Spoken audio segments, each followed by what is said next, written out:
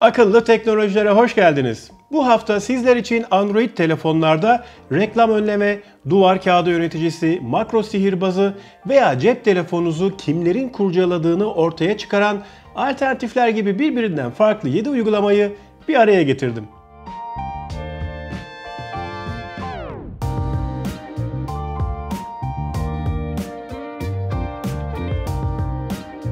Tekrar merhabalar. Umarım keyfiniz ve hepsinden de önemlisi sağlığınız yerindedir. Karşınıza gereğinden fazla sayıda çıkan reklamlardan sıkıldıysanız markette kullanabileceğiniz en başarılı seçeneklerden biri blokada.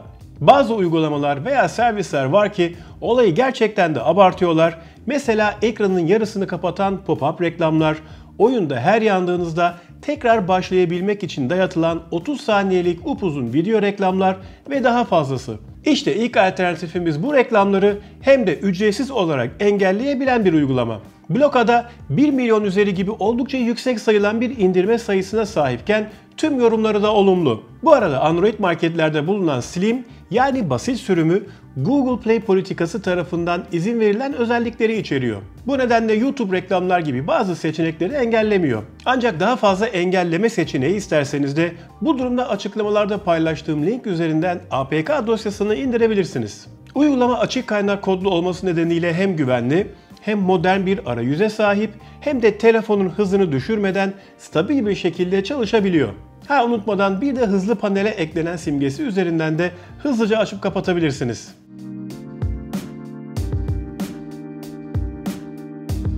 Şimdi sıradaki uygulamaya geçmeden önce sizlerle küçücük bir anlaşma yapmak istiyorum. Kanalı uzun zamandan beri takip edip zaten abone olanların videoyu sadece beğenmesi yeterlidir. Kanala yolu yeni düşenler ise şimdilik sadece videoyu sonuna kadar seyretsin lütfen. Eğer en azından bir uygulama hoşunuza gider ve indirirseniz abone olmanız yeterlidir. Eğer hiçbirini beğenmezseniz de beğenme butonuna basabilirsiniz. Ama bence asıl ayıbı şuradaki rapora göre kanalı uzun zamandan beri takip edip hala abone olmayanlar yapıyor. Bu yüzden kendinizi affettirmek için bir kere mutlaka abone olmalı, videoyu beğenmeli ve hatta aşağıya yorum bırakmalısınız. Olur mu? Şimdiden teşekkürler. Sıradaki uygulamamız Who Touched My Phone yani telefonumu kim kurcaladı kelimelerinin baş harflerinden oluşan VTMP. İşlevi ise son derece basit, bilginiz dışında telefonunuzu kurcalayanları tespit etmek. Bunun için uygulamanın takip özelliğini aktif hale getirdikten sonra telefonunuz her açıldığında hem ön kameradan fotoğraf çekip kurcalayan şahsı belirleyecek hem de sonrasında hangi uygulamalarda gezdiğini de tespit edecek.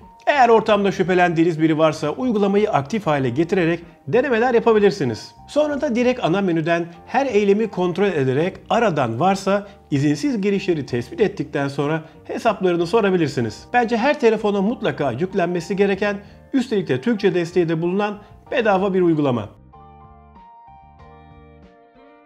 Üçüncü uygulamamız MacroDroid önceden belirleyeceğiniz senaryolara göre arka planda sıralı komutların aktif hale gelmesini sağlıyor. Apple'ın kestirmeler uygulamasının bir benzeri olarak da düşünebilirsiniz. Bunları ister makro sihirbazı ekle sekmesinden kendiniz yaratabilir, isterseniz de şablonlar sekmesinden başkalarının oluşturduğu senaryolardan faydalı bulduklarınızı direkt kullanmaya başlayabilirsiniz. Mesela az önceki örneğe benzer bir şekilde şifre ile hatalı giriş yapıldığında ön kamera ile fotoğraf çek veya telefonu ters çevirdiğimde otomatik olarak ses kaydına başla ve tekrar ön ekranı yukarı çevirdiğimde ise durdur gibi programlayabileceğiniz birçok faydalı, hayat kurtaran senaryo bulabilirsiniz. Marketten ücretsiz olarak indirebileceğiniz uygulamayı hemen bedava sürümüyle kullanmaya başlayabilirsiniz. Ancak sınırsız tetikleme özelliği ekleyebilme, reklamları kaldırma ve bulut hesaba yedekleme gibi ek fonksiyonlar için tek seferlik ödeme yapmanız gerekiyor.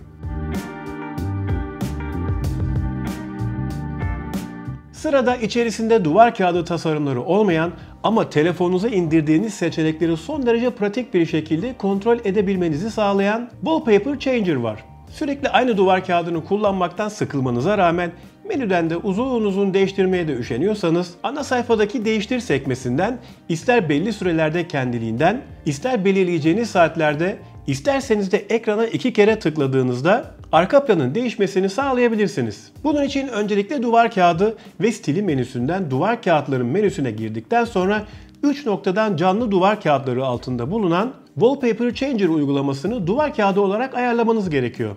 Ya da ana ekrandaki ünlem işaretine de basarak direkt bu menüye girebilirsiniz. Sonra da albümler sekmesinden ister arka planlarınızı tek tek veya klasör olarak ekleyip kaydediyorsunuz o kadar. Ayarlar menüsünden ise fotoğrafın formatını değiştirebilir veya en güzeli karanlık modda koyuluk oranını dilediğiniz gibi yükseltebilirsiniz. Böylelikle ana ekranınızdaki simgelerin daha belirgin ve kolay anlaşılmasını da sağlayabiliyorsunuz. Ücretsiz olarak indirebileceğiniz uygulamada Türkçe dil desteği de mevcut. Beşinci seçeneğimiz takvimdeki kayıtlarımızı sıra dışı bir tasarım ile gösteren Sektograf. Aynı tasarım ana ekrana widget olarak da eklenebiliyor ve içerisinde hem günlük planlarımızı hem de saat bilgilerini son derece anlaşılır ve şık bir şekilde gösterebiliyor. Marketten ücretsiz olarak indirebileceğiniz uygulamayı bedava sürümüyle hemen kullanmaya başlayabilirsiniz. Ama farklı renk paletlerini kullanmak veya widget ekranına farklı sekmeler eklemek gibi ek özellikler isterseniz de bu durumda tek seferlik ücret karşılığı tam sürüme geçiş yapabilirsiniz.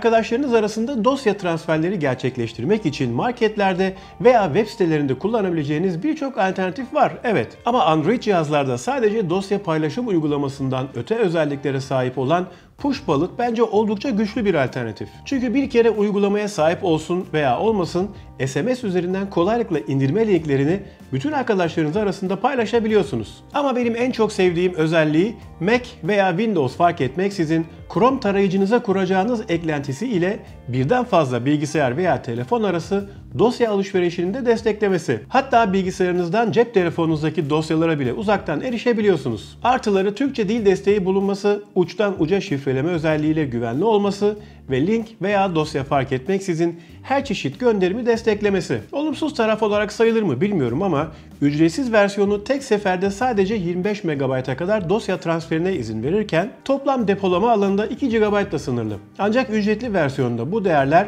transferlerde 1 GB'a, depolama alanında ise 100 GB'a çıkıyor. Bence ihtiyacınıza göre öncesinde ücretsiz sürümü deneyip kararınızı da sonradan verebilirsiniz.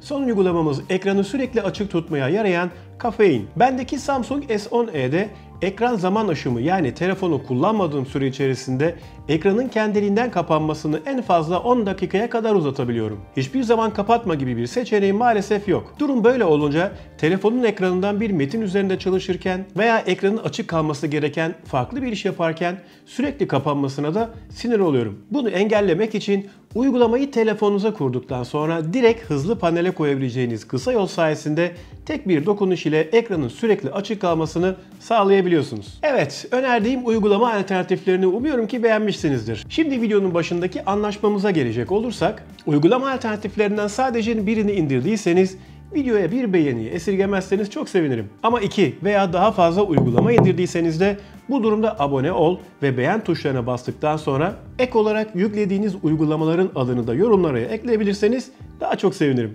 Teşekkürler. Haftaya farklı bir bölümde veya kanaldaki diğer teknolojik içeriklerde tekrar görüşene kadar kendinize çok iyi bakın. Ortaya çıkaran alternatifler Google Play politikası Bilginiz dışında telefonunuzu kurcalayanları, kurcalayanları sonra da direkt ana menüden eğer e, ha, Üçüncü uygulamamız Macdroid. Önceden belirleyeceğiniz Macdroid ne ya?